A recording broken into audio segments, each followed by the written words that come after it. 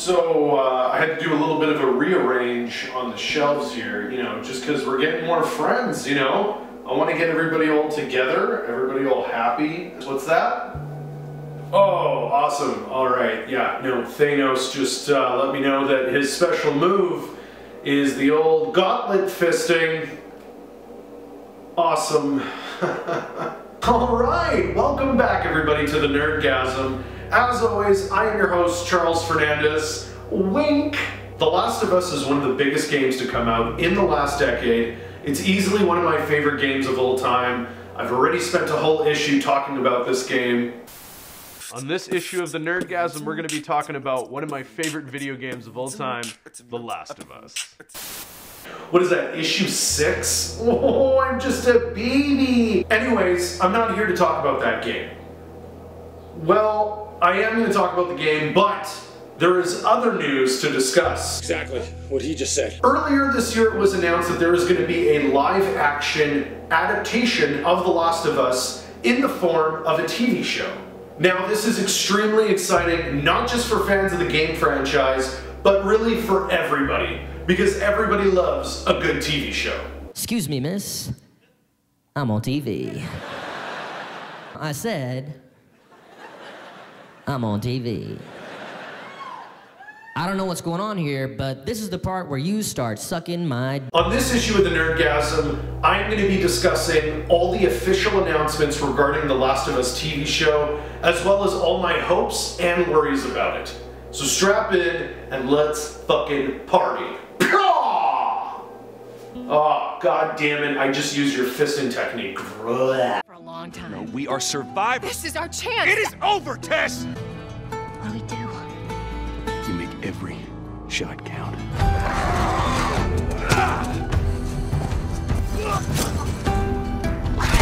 Before I get started, I'm letting you know I'm going to be diving into everything The Last of Us. So, spoiler warning! I just want to make sure that we're all caught up on the story. That's right, you probably figured it out. We're going to be doing a rundown. So, uh, whoa, rundown. What's this? You play as Joel, a hardworking single parent that loses his only child, Sarah, during a zombie outbreak. Oh, super sad, I know. Now, we cut to 20 years later. Joel has been surviving as a smuggler in this post apocalyptic world.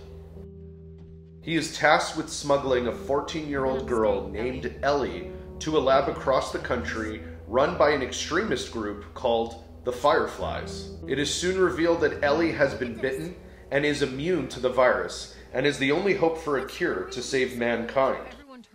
So the stakes are clearly high, and let me tell you, this is one of the most intense and emotional stories of survival ever. Now that you have an idea of the story, you can see why a live action TV show is such a big deal. Not a lot of information has officially been announced. I think given the current state of the world, that probably has put a little bit of a damper on things. And then I see the disinfectant where it knocks it out in a minute, one minute. And is there a way we can do something like that? Inject. But what they have released is still very exciting. First up, the show will be made through HBO. This is beyond awesome because we already know they have lots of money, talent, and they know how to put out a good show. Also, the show can be true to the very violent and mature tone of the source material and not be limited because of rating and audience. Because, spoiler, The Last of Us has some Game of Thrones style violence, and you know we wants it.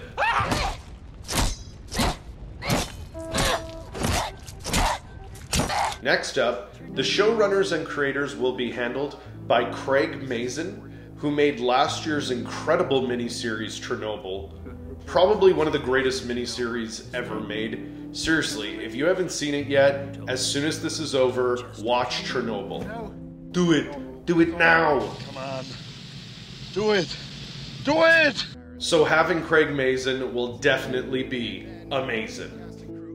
You see what I did there? Yeah. But the true icing on the cake Hi, my name is Neil Druckmann, and I was the writer and creative director of The Last of Us. Neil Druckmann will also be a showrunner and co creator. No one knows these characters and stories better than him. This is great news for the Last of Us fan base and for new fans coming into the franchise. This is also a huge relief for any of the Last of Us fans because previously Druckmann has been working on a Last of Us movie script since 2014 for Sony Pictures, and it's been a nightmare. He kept expressing that he was having difficulty telling the story in a two hour film, and it was delaying the script, and it was just stressing everybody out. And we all know how hit or miss Sony is with their movies.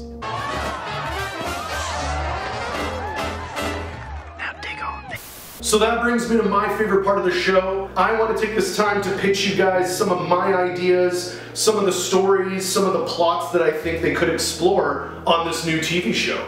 So uh, let's get to it.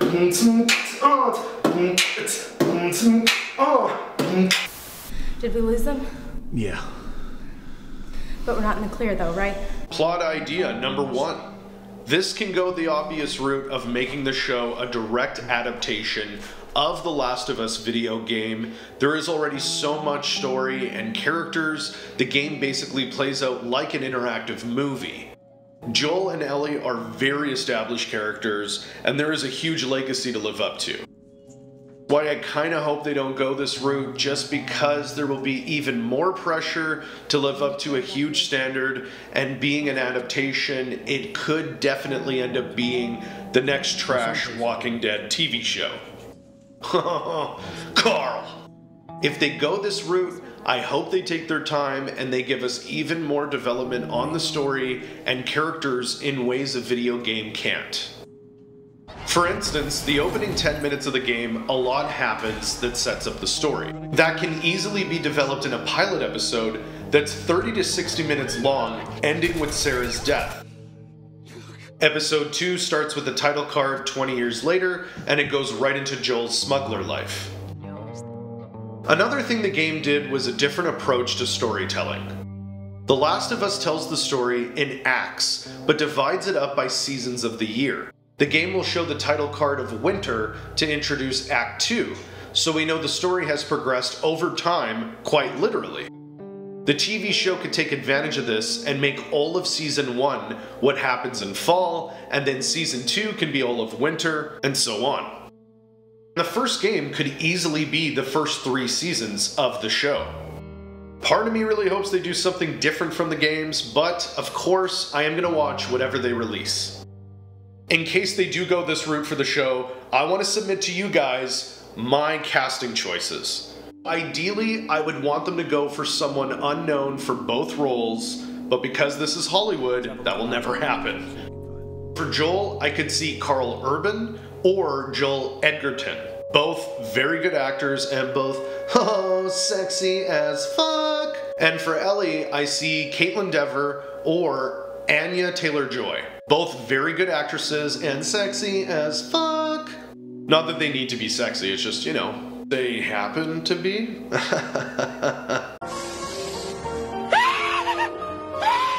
Moving on to plot idea number two. As I've mentioned many times already, the game starts off with a 20 year time jump. I want to follow Joel during those 20 years. I want to see how this pandemic has changed him and what he has had to do to survive. I mean, after losing his daughter, what's really motivating him to keep going? What is he really going through and who is he surviving with? This is a story that we have not explored yet and ties beautifully into the first game. So it'll attract the existing fan base as well as new fans. Plus, who wouldn't want to see Joel's story of survival? Especially over 20 years, and only through some very subtle dialogue, we know Joel has been on both sides of the pandemic. So there is lots of story to work with, and they can really develop the world of The Last of Us.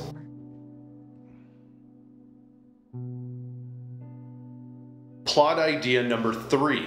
I'm slowly starting to realize that all these other plot ideas fall during the 20 years later umbrella. But, anyways, the show could focus on the Fireflies. A big part of the game focuses on the Fireflies and working with them, but we really don't know a lot about them. We know they are a group of rebels that are still fighting for a cure to save the world and bring some sort of order back. Through dialogue and a few encounters, we see that the Fireflies are seen as enemies and heroes. It could follow Ellie's mom and her experience with the pandemic and how she met Marlene and the Fireflies. Another example of something new and exciting for existing and new fans. And for plot idea number four, something completely original. The Black Mirror approach, if you will, or an anthology set in the Last of Us universe. Every episode can focus on different characters and themes. This can give endless stories from different perspectives surrounding the infection. In the game, you come across a lot of diaries and audio messages from other people in the world, and each episode could focus on one of those diary entries. This can give endless stories from different perspectives surrounding the infection. It'll also give more creative freedom and options with having a different cast and writers for each episode. I just, I really hope that HBO and this production survives the current COVID situation. Once this all blows over, we have a really exciting show to look forward to. And hopefully the story of The Last of Us doesn't actually become real and this is just the beginning.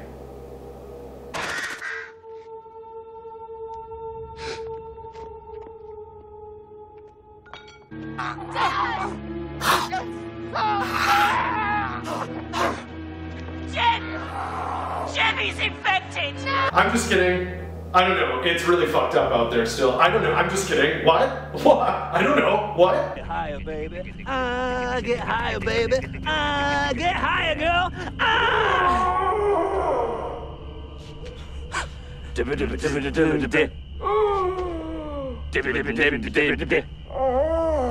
Regardless of the show happening or not, The Last of Us Part 2 is weeks away. I mean, I'm, I'm pretty sure it's coming out this time, right? What? Last of Us 2? It's coming out this year? Fuck yeah! Yes! Fuck yeah! yeah! I mean, you know, it's a big game. It's gonna get delayed. It's not huge, it's not crazy. It's still coming out this year. Just a little delay. And hey, whenever a game's delayed, it's good. It means they're just making it better. So this is fine. It's cool. Cool, cool, cool, cool, cool, cool, cool, cool. Postponed indefinitely? What the fuck does that even mean? When is indefinitely? What month is that? Is it still coming out? Why are they delaying it? Why? What did you do?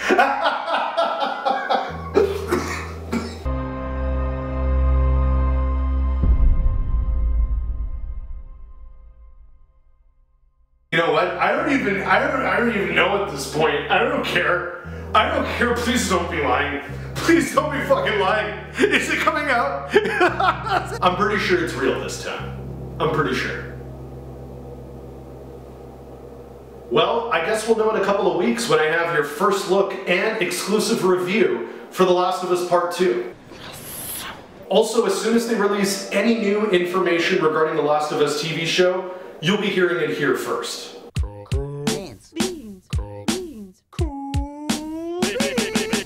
Well, that's all the time we have on this issue of the Nerdgasm. Thank you so much for stopping by. Make sure to go to youtube.com slash cfbomb and make sure to subscribe on your way out. You can hit subscribe here, or here, or here, or here, or fucking anywhere. And then I don't have to press the kill switch, and then you can live another day. What? I don't know. We're just having fun. We're just laughing. Press fucking subscribe now. Do it! Just do it! Thanks again for stopping by, and we'll see you next time on the Nerdgasm. Oh yeah! No, dude, you cannot fist me, man. Because I, I don't consent. I don't consent to it.